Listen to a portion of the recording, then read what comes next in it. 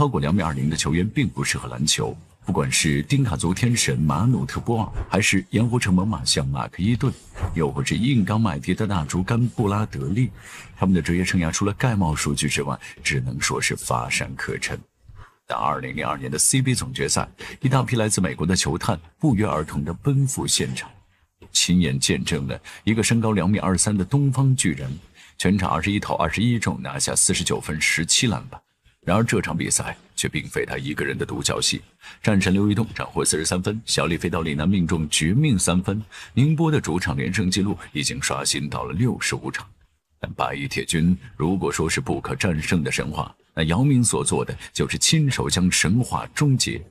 第二战回到上海主场，迎来一场三十二分的大胜，姚明兴奋地对媒体说道：“八一已经老了。”然后刘玉栋、李楠、张劲松携手掀起三分雨暴风，三人合计拿下一百零八分，但姚明独砍四十六分、二十三篮板，率队再下一城。第四战，战神刘玉栋打光了最后一颗子弹，并最终荣膺了总决赛的最有价值球员。只是连续六年蝉联 CBA 总冠军的八一王朝，在姚明场均四十一点三分、二十一篮板、三点三盖帽的冲击下暂告段落。火箭队时任主教练鲁迪·汤姆贾诺维奇此时也看到了下一个奥拉朱旺的影子。二零零二年六月二十六日，大卫·斯特恩宣布，休斯顿火箭用首轮第一顺位选中姚明。作为首位亚裔状元，外媒早就迫不及待地一睹他的庐山真面目，甚至还不等他正式融入球队，就把他推到了可以限制奥尼尔的高度。这也激发了其他内线球员对他的不满。NBA 首秀，姚明出场十一分钟拿到零分、两篮板、三犯规。虽然汤帅和弗老大都力挺他会逐渐适应 NBA 的节奏，但媒体和当时对 NBA 还没有深刻认知的国内球迷却早已没那个耐心了。赛季第七场，做客菲尼克斯，姚明出场十四分钟，六投五中，拿到十分、两篮板、一盖帽，并留下了换防马布里被晃倒在地的名场面。太阳的板凳席传来刺耳的嘲笑声。前火箭名宿巴克利更是直言：“如果姚明能在一场比赛中拿到十九分，那我就去亲肯尼·斯密斯的屁股。”在前辈的激励之下，姚明口上说以后每场都拿十八分，私底下却在训练营埋头苦练。然后赛季的第八场比赛，姚明面对缺少奥尼尔的湖人队首开杀戒，在二十三分钟的出场时间里，九投九中拿到二十分，害得肯尼·史密斯花了二十美刀请来一头驴代替自己。而愿赌服输的巴克利也履行了自己的承诺。四天之后，姚明又在对阵小牛的比赛中十二投十中，拿下三十分、十六个篮板的豪华两双，彻底粉碎了外界的质疑，成为火箭队的首发中锋。休斯顿的球迷更是要命，他们打出“姚明能够生吃鲨鱼”的标语。连续三年拿下 FMVP 的奥尼尔哪里能忍？兴师动众的向一个外籍菜鸟下达了战书。二零零三年一月十七日，姚沙对决首回合正式打响。奥尼尔怒火攻心的包揽了湖人前三次进攻，然后连续吃了三顿火锅。而姚明则用勾手、空切和中投连得六分，看得国内球迷那叫一个热血沸腾。只是随着奥尼尔开启杀神领域，原来在绝对的力量面前，任何技巧都是花里胡哨。那一夜，奥尼尔斩获了三十一分、十三篮板，姚明拿到十分、十篮板、六盖帽。直到第二天才缓过神来说第一句话：“我还活着。”在领教了奥尼尔的强悍之后，增重便成为了姚明当下必须面临的一个问题。原本按照汤帅的计划，会给他一个两年的适应期。不过就在赛季末段，他因为身患癌症，不得不放下教鞭。而顶替他的，就是那个让中国球迷过目不忘的男人——杰夫·范甘迪。师承帕特莱利，崇尚铁血防守，有着一张本色出演吸血鬼的脸。当他带着为大苹果城拼废双腿的尤因入驻，姚明便从一个被精心保护的小菜鸟，变成了火箭队攻防两端的第一核心。那个夏天，姚明的胳膊比之前粗了不止一圈，卧推也超过了一百五十公斤。再加上他之前的灵活性和基本功，一个无解的低位大杀器呼之欲出。二零零三年亚锦赛决赛，姚明仅用一个回合就把宇宙第一中锋斩落马下，导致韩国男篮二十年都没能缓过劲来。零三至零四赛季，姚明八十二场全勤，场均十七点五分、九篮板，均是队内最高。相比之前由弗老大和老猫主导的自由进攻，如今的火箭队每一个回合都是阵地营造，再加上苛刻到极致的魔鬼训练，导致弗老大和范甘迪的矛盾激发，最终催化了火箭队交易麦迪的决定。作为当时风头正盛的得分王，麦迪的到来让休斯顿看到重夺总冠军的希望。对着马刺的三十五秒十三枪，震古烁今。而除了得分爆炸和球风飘逸之外，他的策应能力才是火箭全面崛起的关键因素。二零零四年十二月二十日。火箭队在主场迎来猛龙的挑战，麦迪拿下三十四分、十二篮板、七助攻。姚明仅用八分钟就让洛伦伍兹领到了四次犯规，接着用二十五分钟让波什六犯离场，全场豪取四十分、十篮板，证明了黄种人也能统治 NBA。零四至零五赛季，火箭轰出五十一胜三十一负的战绩，仅比西部第三的超音速少了一个胜场。只是由于分区原因，他们不得不在首轮面对五十八胜的小牛。此时的诺天网已经充分展示了自己的进攻才华，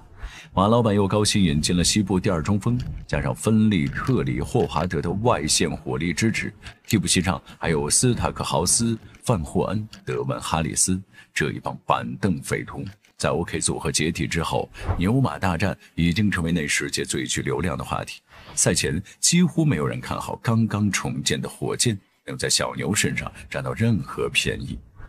然而，姚麦组合凭借一招临时起意的挡拆配合，就连续攻克了达拉斯的前两个主场，不仅让小牛陷入被横扫的尴尬局面，也让联盟的各路豪强彻夜难眠。如果这两个人一直采取挡拆的话，会不会像 OK 组合那样创立王朝呢？系列赛第三场开始之前，NBA 高层在接到马老板的施压之后。还专员明确要求裁判要严吹姚明的移动挡拆，导致他的出场时间被切得支离破碎。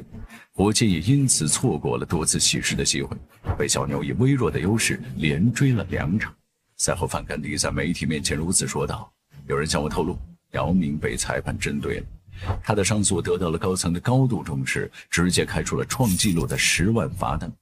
而天王山的失利更让裁判问题被无限放大。”此役，麦迪打出了超级球星的担当，卢卡二十五分、九篮板、六助攻。姚明更是用十三投十中的表现发泄了之前的怨气，拿到三十分、八篮板、三盖帽。火箭几乎把胜利收入了囊中，但芬利那个脚踩界外的抢断，改变了这场比赛乃至整个系列赛的走势。二比零领先的天顺开局，到二比三落后的四面楚歌，火箭队并没有放弃，他们顽强地守住了最后一个主场。可谁又能想到，万众瞩目的抢七大战却将火箭队的命脉彻底给暴露了出来。虽然姚明组合携手贡献六十分、十七篮板、八助攻、八盖帽，但其他三大首发合计十七投三中，怒砍十分；整个替补席十六投三中，暴砍六分。火箭队迎来一场耻辱性的失败。球迷虽然对这个结果痛心不已，但他们有理由相信，坚持以姚麦为核心。航天城定能重夺总冠军。那悄无声息的伤病浪潮已经开始侵蚀火箭升空的根基。加盟休斯顿的前三个赛季，姚明总共只缺席两场比赛。然而，随着2005年6月接受左脚踝骨刺去除手术之后，他在接下来的三个赛季累计缺了86场常规赛和两个赛季的季后赛。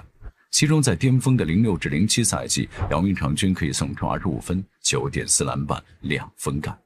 但由于出场次数只有四十八场，最终只入选了年度最佳二阵。一阵的小斯则是场均二十点四分、九点六篮板。而最大的遗憾来自于零七至零八赛季，在得到巴蒂尔和斯科拉两大悍将之后，麦迪化身组织核心，率队打出一波荡气回肠的二十二连胜。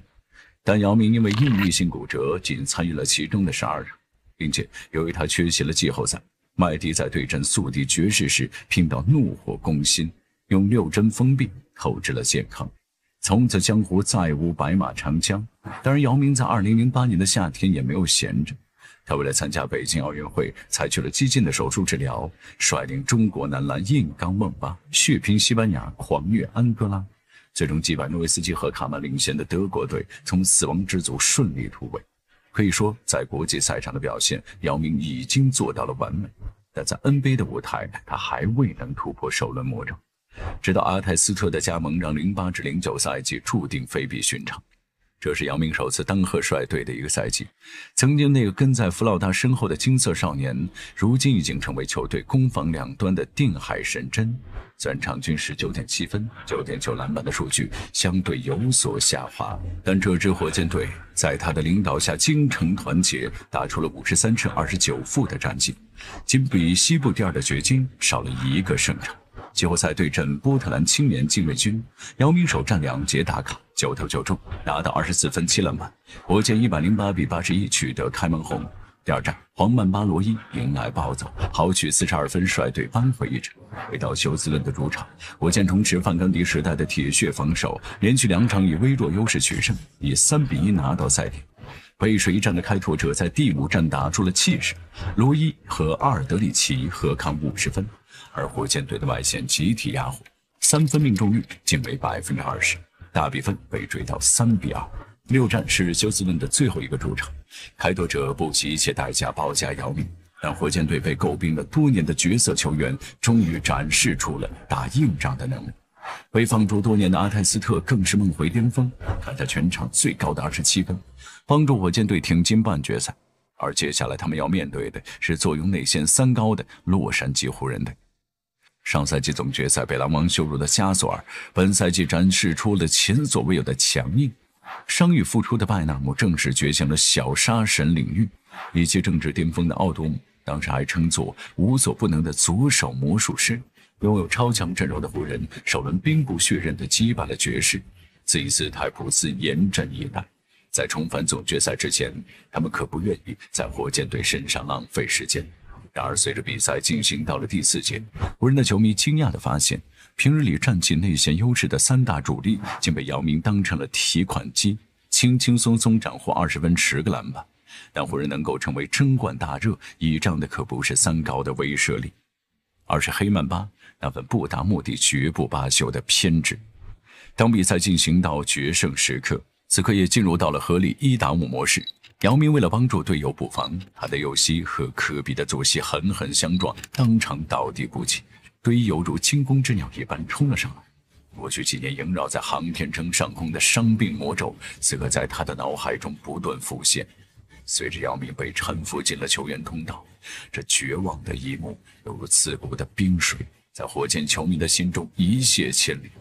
而身处于风暴中心的姚明，突然对队医大喊一声：“我要回去。”挫折不会主动说话，而是在暗中助你成长。没有人一出生就自带铠甲，但信念可以让你无坚不摧。在承受了过去七年的失意之后，姚明不顾队医的坚决反对，毅然重新回到战场。原本已经开始提前庆祝胜利的湖人球迷，也被他视死如归的决心所打动，纷纷起立送上了真诚的掌声。最终，姚明用百分之百的命中率拿下八分，率领火箭一百比九十二虎口拔牙。强者从来不会因为伤痛而消沉，而会在挫折中茁壮成长。虽然姚明最终还是倒在了这轮系列赛，但他在赛场上的强大实力和赛场下的人格魅力，无疑得到了 NBA 的认可。低调和谦逊是中国的传统，而自强不息才是刻在骨子里的东西。在姚明正式退役的时候，曾说：“我给我的篮球生涯打满分，因为我每一天都拼尽了全力。身高是父母送给他的礼物，勤奋才是他入选名人堂的根本。正是因为他坚持不懈的努力奋斗，才筑起了十四亿人的篮球巨梦。过去一百年内也无法出现下一个姚明，但如果能够延续他的那份拼搏精神，中国男篮同样未来可期。”